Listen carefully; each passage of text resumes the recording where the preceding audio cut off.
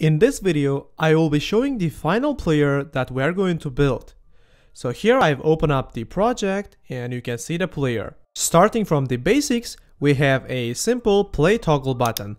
And when we press, the video starts playing. And if we press again, it's going to stop. This is one way to toggle the video. Another way we can toggle is by hitting the spacebar, just like in YouTube. And the last way we can do the same thing is by clicking the video element itself. Next, we have our sound toggle button, which mutes and unmutes our video.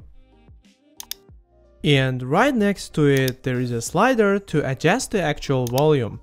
We will be writing this component from scratch. It will have a click and drag support for good user experience.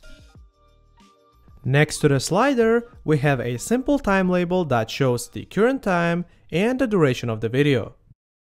And the last element on the right is the full screen toggle button. And it goes to full screen and as you can see everything works in full screen as well.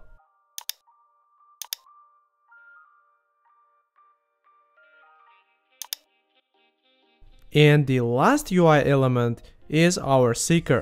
It uses the same slider component that we are going to write for the sound controls.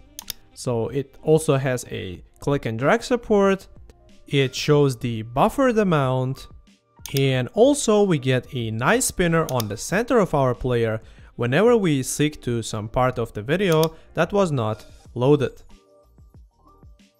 At the end of this course, we will build the exact same player and I will show you step by step and explain exactly how everything works. So with that said, see you in the first development chapter.